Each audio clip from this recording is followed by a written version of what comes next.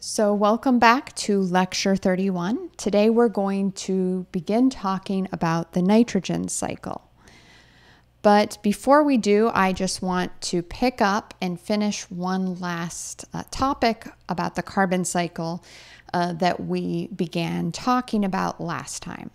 So, last time we ended our lecture talking about how warming in the tundra, where we have all those uh, frozen soils uh, in the permafrost, uh, how that may impact decomposition.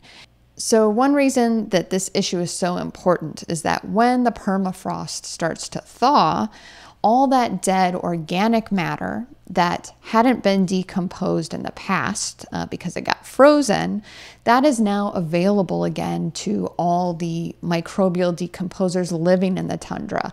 And that's just a ton of food. So, what is expected to happen then is as those as all that food becomes available, those microbes uh, are going to eat away at that dead organic matter. And during the process of respiration, uh, most of that carbon locked away in that dead organic matter gets released as CO2 back to the atmosphere. So, this brings us to the issue of feedbacks between climate and the carbon cycle. Feedbacks are very common in biological systems and they're also very important and common uh, among factors that influence climate. Now, feedbacks can be either positive or negative. So, we'll start off with negative feedbacks. So, a negative feedback is when you have a perturbation to a system that leads to a change uh, in that that system that ends up reducing the size of the initial perturbation. So, what does that mean? Well, let's take uh, climate as an example in the tundra. Um, we are currently increasing uh, the CO2 levels in the atmosphere, and as CO2 is a greenhouse gas, this uh, is increasing the temperature of the planet, uh, including in systems like the tundra.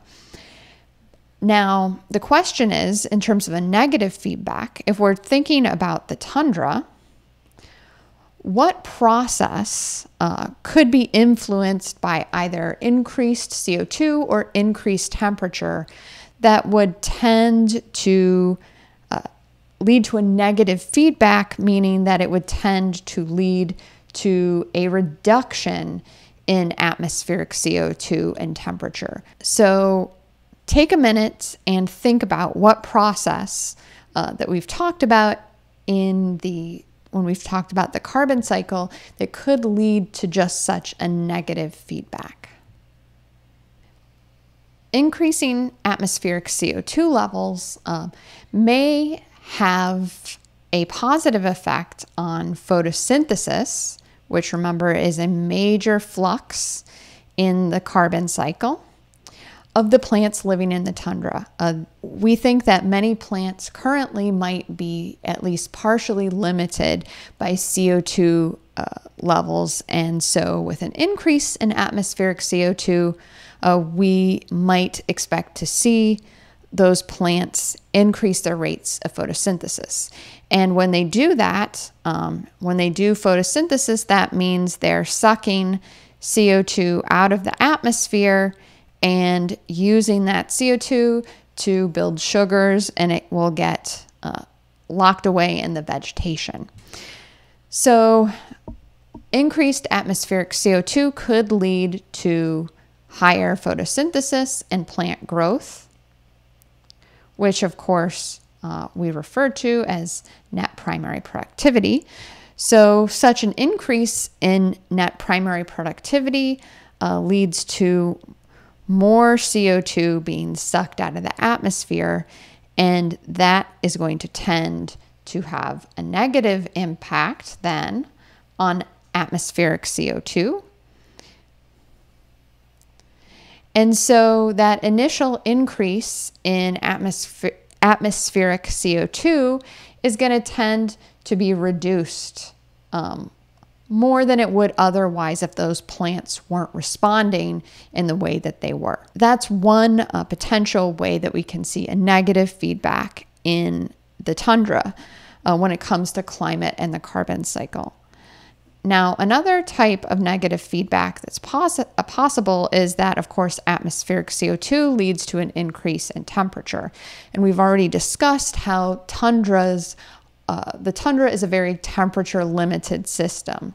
So, an increase in temperature could uh, greatly impact the rates of photosynthesis and growth in, in the system.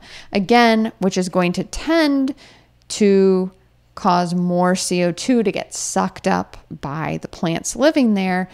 And that also is going to tend to reduce atmospheric CO2 levels, which will also reduce then the temperature. So that initial increase in temperature is again partially reduced uh, because of this negative feedback uh, by the plants in response to that increasing temperature. And one important thing to note here in both of these cases is when we have these negative feedbacks between the ecosystem and climate, what we see is that this negative feedback uh, tends to mitigate the effects of fossil fuel burning on the climate. Okay, so it tends to mitigate those effects, meaning that initial increase in temperature or and that initial increase in atmospheric CO2 aren't as great as they might have been if this negative feedback with the vegetation wasn't taking place. Uh, so climate, it still gets warmer. The atmospheric levels still go up in response to burning fossil fuels, but just not as much. So this is good for us. These negative feedbacks between uh, ecosystems and climate are helpful because we don't want the climate to change that much uh, because of course we're not changing the climate on purpose. However, negative feedbacks are not the only feedback uh, with climate that we expect to see in the tundra.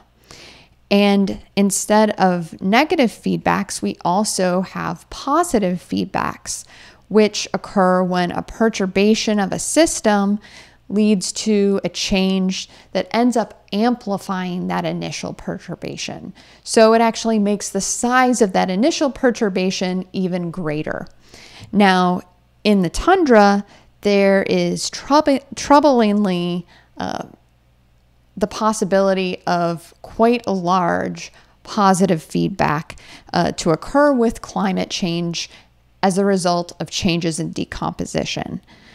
So, again, we start off with having an increase in atmospheric CO2, which has a positive impact on the temperature. But as we have discussed in our lectures on decomposition rates, one of the things that influences decomposition is temperature. And so we expect increased temperature to have a positive effect on decomposition. But even more importantly, as temperature increases, and all this dead organic material that's frozen away in the permafrost thaws, uh, there is now way more food available uh, for those decomposers to eat. And that particularly is going to lead to increased decomposition rates uh, and microbial respiration that will lead to a huge and increased flux of CO2 back into the atmosphere as they eat away at these huge pools of organic carbon that are currently locked away. So, increasing temperature is expected to have a very big impact on decomposition in the tundra. Uh, and as a result of microbial respiration, releasing CO2 into the atmosphere, we expect to see a positive effect on the release of CO2, thus leading to a further increase in atmospheric CO2 and a further increase in temperature. So, unlike those negative feedbacks, when we have positive feedbacks between climate and an ecosystem, this tends to exacerbate or make worse the effects of fossil fuel burning on the climate.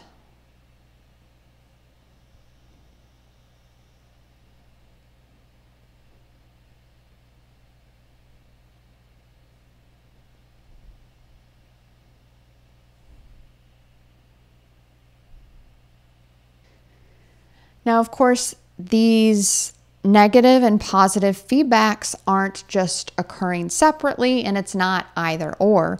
In fact, we expect to see them both operating at the same time.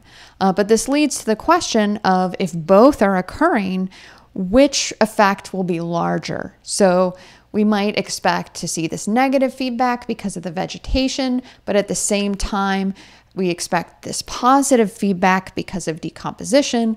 Which one is going to win out? If the NEP becomes negative and they're releasing more carbon than they're sucking out of the atmosphere. So, which of these two feedbacks uh, are going to sort of win out?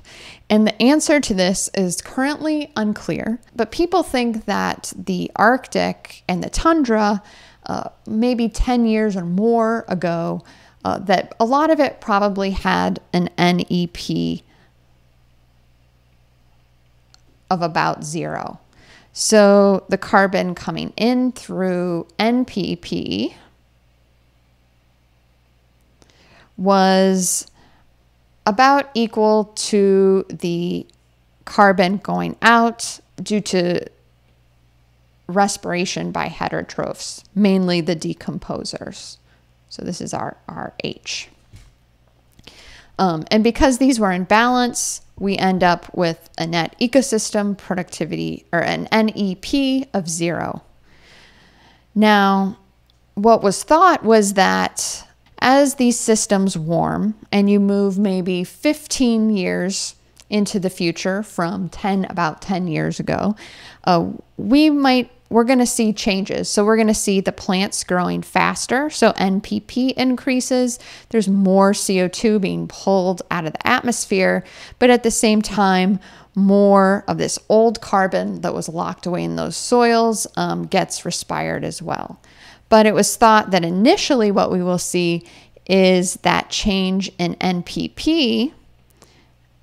The increase in NPP would be greater than the increase in decomposition and heterotrophic respiration.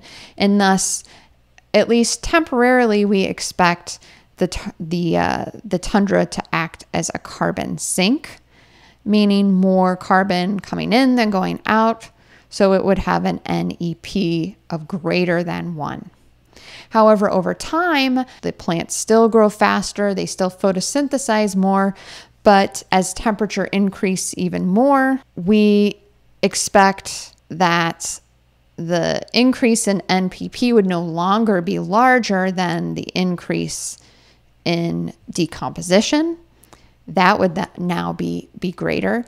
And this would change the tundra from a carbon sink to a carbon source, a source of carbon to the atmosphere, uh, meaning that it has an NEP of less than one. So, this is what uh, maybe 10 years ago was predicted to happen 35 years uh, from that time period.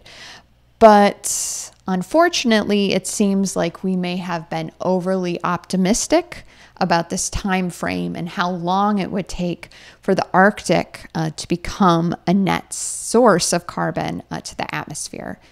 And more recent data and some modeling suggests that many parts of the Arctic may already be acting as carbon sources to the atmosphere. And this is in part due to the fact that we think we have been underestimating the amount of decomposition that occurs in the winter under the snow when things aren't quite frozen. This suggests that perhaps we were right about this trajectory, um, but it's just we're a little bit further in that trajectory than we had hoped.